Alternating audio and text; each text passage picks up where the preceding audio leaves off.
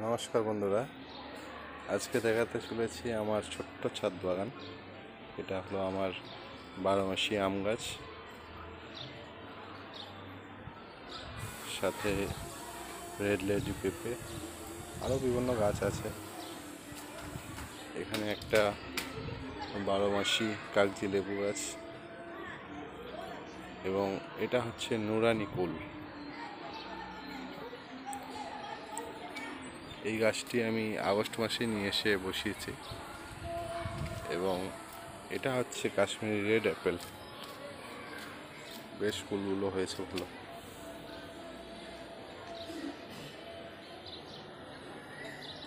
ফুলগুলোর size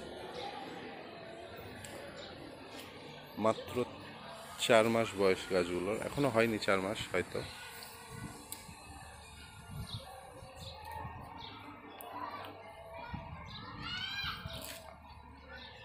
আরও কিছু গাছ আছে।